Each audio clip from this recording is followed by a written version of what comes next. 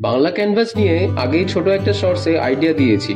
বলেছিলাম বেশ কিছু কথা বলার আছে সো ফালতু বকবক আর না করে সরাসরি খাওয়াতে যাওয়া যাক।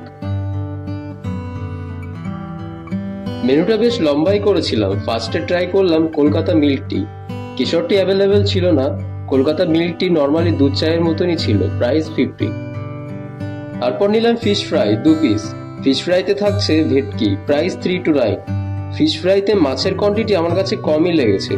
সাইজ মিডিয়াম ছিল, কিন্তু ভিতরে মাছ কম, তবে টেস্টি ছিল, কাসন্দি দিয়ে বেশ লেগেছে।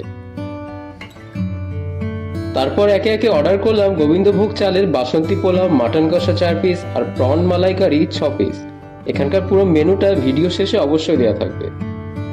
থালা সাজিয়ে বসে পড়লাম, এবার খুঁটিনাটি বিশ্লেষণ করার পালা।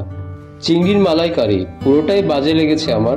দেখে তো বুঝতেই পারছেন নারকেলের দুধের বদলে প্যাকেটের টক দই বা দুধ ইউজ করা। মেনুতে লেখা ছিল ছ পিস চিংড়ি, বাট খুঁজে পেলাম পাঁচ পিস মনে হয় আরেকটা রান্না টেস্ট করতে গিয়ে খেয়ে ফেলেছে। যাই হোক, এটা বলার পরেও কোনো রকম নেগোসিয়েশন করল না। টেস্ট ক্লোজ টু ন্যাচারাল মালাইকারির মতোই করার চেষ্টা করেছে, বাট আমি রিকমেন্ড করব না। তারপরে এলো মাটন কষা। এটা নিয়ে জাস্ট কথা হবে না। মাটন সেদ্ধ টেস্ট সব একদম পারফেক্ট আর টুকরোগুলো বেশ বড় বড়। আর গোবিন্দভোগ পোলাওটা দারুণ ছিল। অন্য জায়গার মতো অতিরিক্ত মিষ্টি করেনি। একদম হালকা মিষ্টি। মাটন মাটনের ঝোল দিয়ে পোলাও মেখে খেতে জাস্ট ওয়াও লাস্টে নিয়ে নিলাম ক্যারামেল কাস্টার্ড এটা বেশ ভালো ছিল। পুরো বিগ থামস আপ এটা ছিল আমার এক্সপিরিয়েন্স আপনাদের এক্সপিরিয়েন্স কেমন? সেটা অবশ্যই শেয়ার করবেন।